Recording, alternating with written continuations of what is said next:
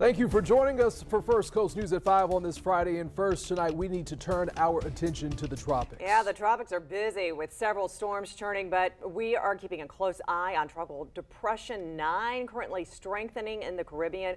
Governor Ron DeSantis has declared a state of emergency for several counties in South Florida. We have team coverage tonight looking at what this could mean for the First Coast if it heads this way. Let's first get a check of the most recent forecast with meteorologist Amelia Henderson, who's in for Tim Deegan tonight.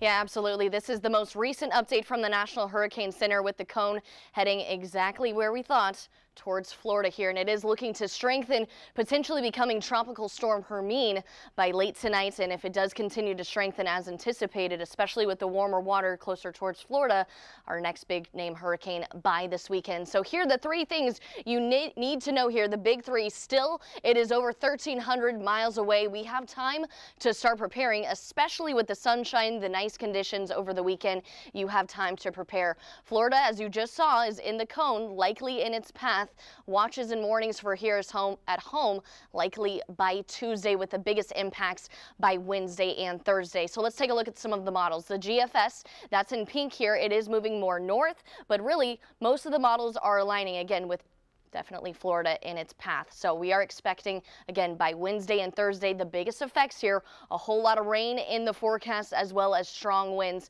So that is what we are definitely anticipating and need to be preparing for. So you need to keep updated. Of course, it is still at uh, Tropical Depression 9, likely to strengthen into Tropical Storm Hermine by late tonight, if not by tomorrow. So how do you stay up to date?